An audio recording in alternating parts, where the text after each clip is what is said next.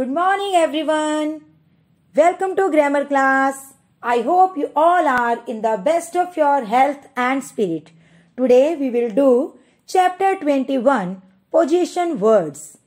Position words tell us where someone or something is. Position words are also called prepositions.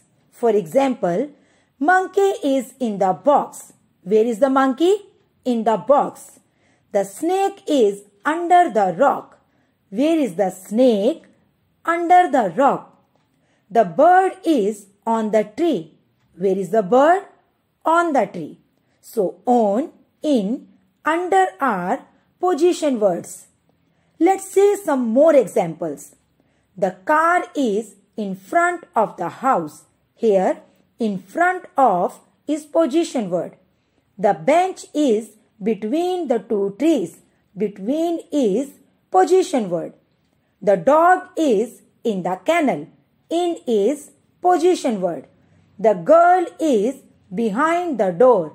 Behind is position word. Birds are flying over the trees. Over is position word. Now it's practice time. Underline the prepositions in these sentences. The boy is playing in the garden. In is position word. Jay said between Ronnie and Sunny. Between is position word. The clock is on the wall. On is position word.